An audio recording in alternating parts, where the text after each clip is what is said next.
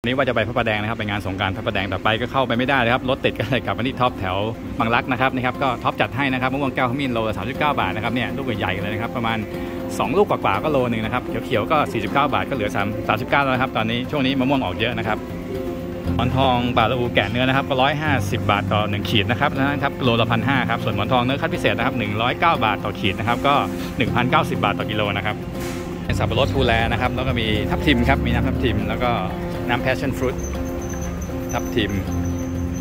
อ่า passion fruit นะครับส้มลูกเล็กนะครับ แล้วก็ม่วงแก้วขมิ้นนะครับ แล้วก็ข้าวเหนียวนะครับข้าวเหนียวมะม่วงก็เริ่มต้นที่ 60 บาท ก็เป็นน้ำอะโวคาโดนะครับแบบมีทั้งแบบใส่นมแล้วก็ไม่ผสมนมนะครับ ก็แล้วแต่ชอบนะครับอันนี้ก็น้ำอ้อยคั้นสดนะครับเนี่ยคั้นกันมาสดๆเลยนะครับ นี่ก็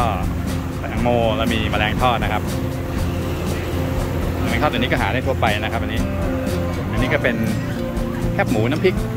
ผักต้มนะครับอันนี้มีปลาดูปลาสลิดทอดนี่ขนมครกนะครับจัมโบ้นมสดชิ้นเริ่มเลยครับนี่พวกก๋วยเตี๋ยวผัดนะครับหมี่ผัดนะครับ ก็มีผัดซีอิ๊วนะครับเส้นใหญ่ผัดซีอิ๊วนะครับแล้วก็มีแล้วก็มีซั่วนะครับมีซั่วผัดก็น่าทานข้าวผัดก็มีครับสปาเกตตี้ก็เป็นไส้กรอกย่างหมูย่างนะครับเนี่ยร้านริมก็เป็นมะพร้าวข้างหลังก็